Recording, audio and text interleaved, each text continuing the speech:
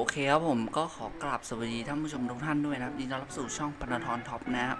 วันนี้ฮะเห็นหน้าตาแปลกๆทำไมผมเปิดรูปนะครับผมเพราะว่าวันนี้ครับผมก็จะมาสอนการตั้งค่า 6 วิธีนะครับผมปรับตั้งค่า Windows 10 ให้เล่นเกมลื่นขึ้นนะครับผมไม่หน่วงนะครับ แล้วก็ลดอาการกระตุกนะครับผมก็ทำให้คอมเนี่ยไวขึ้นนะครับผมไม่รู้ว่าจะช่วยได้มากน้อยแค่ไหนนะครับ โอเค ก่อนจะไปเริ่มคลิปนี้ครับผมก็ฝากกดไลค์คลิปนี้นะผมกดแชร์แล้วก็กดติดตามช่องให้ผมด้วยนะครับผมเพื่อเป็นกำลังใจในการทำคลิปต่อๆไปนะครับผมขอบคุณมากครับสำหรับทุกยอดวิวแล้วก็ทุกการติดตามนะครับผมโอเค เพื่อไม่ให้การเราช้านะครับเรามาเริ่มคลิปนี้กันเลยดีกว่าครับขั้นแรกนะผมขั้นตอนที่หนึ่งนะ วิธีที่หนึ่งนั่นก็คือการ optimize driver นะครับผม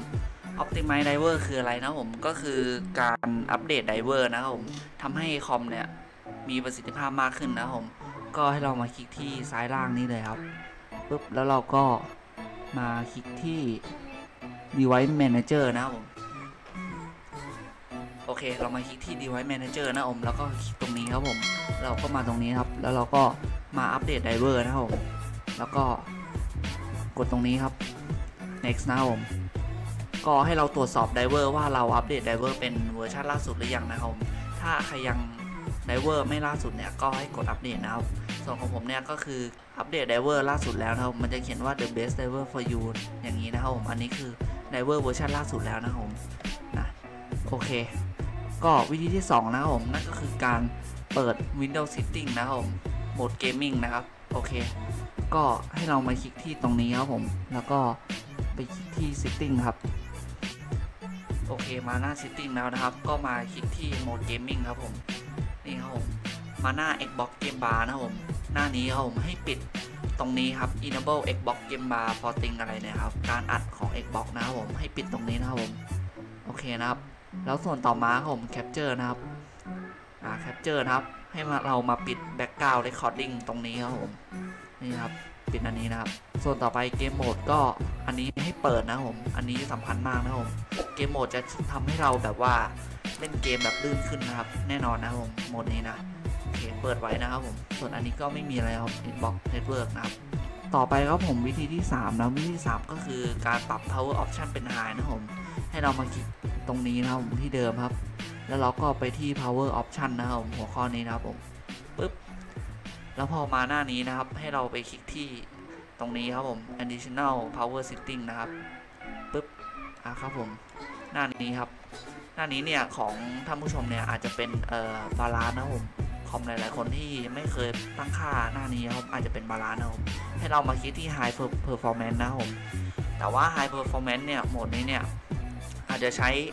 พลังงานมากขึ้นนะครับผมหรือใช้ไฟมากขึ้นนะครับผมเพื่อส่งกระแสไฟให้การ์ดจอ CPU เรานะครับทำงานได้เต็มที่นะครับผมต่อไปครับผมวิธีที่ 4 นะครับ นั่นก็คือการอัปเดต Windows 10 นะครับ อัปเดต Windows ให้เป็นเวอร์ชันล่าสุดนะครับผม ให้เรามาคลิกตรงนี้ครับผมแล้วก็คลิกไปที่ Setting ครับให้เราก็คลิก Update and Security ครับผมนี่หน้านี้เลยนะครับ โอเคนี่ครับ อันนี้ก็คือ Windows เวอร์ชันล่าสุดแล้วนะโอเคเช็ค for update ครับผม ใครที่ไม่ชัวร์นะ ก็ให้เช็คไปว่า Windows ของเราเนี่ย เป็นเวอร์ชันล่าสุดหรือยังนะครับ เดี๋ยวผมก็จะเช็คนี่ครับผมก็คือเวอร์ชันล่าสุดแล้วนะมันก็จะติ๊กถูกอย่างนี้นะครับผมแต่ว่าคอมที่มันจะให้อัปเดต Windows เนี่ยมันจะขึ้นแจ้งเตือนอยู่แล้วนะว่าให้อัปเดต Windows นะครับ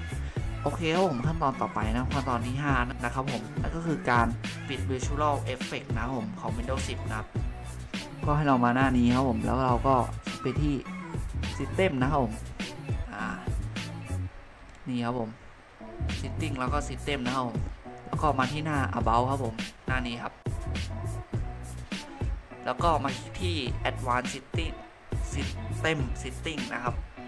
โอเค ให้เรามาคลิกที่ Advanced System Setting นะครับ ให้เรามาหัวข้อนี้ครับ Performance นะ แล้วก็มาคลิกที่ Setting ครับผม